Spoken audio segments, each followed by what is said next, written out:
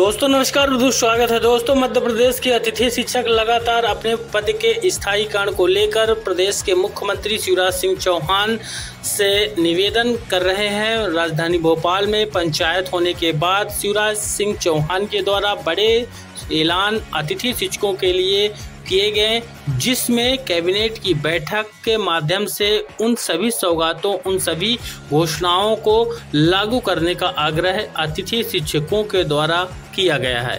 Video बहुत ही ज़्यादा important है। मध्य प्रदेश के रायसेन के सांची ब्लॉक के अंतर्गत ये अतिथि शिक्षक रोकर अपनी व्यथा प्रदेश के मुख्यमंत्री शिवराज सिंह चौहान के सामने व्यक्त कर रहे हैं कि उनको पद स्थायी किया जाए क्योंकि वह लगातार हटाए जा रहे हैं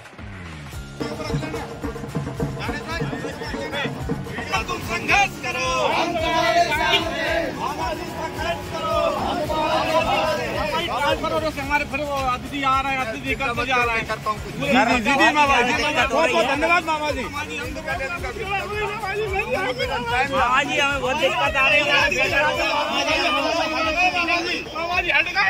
है करो।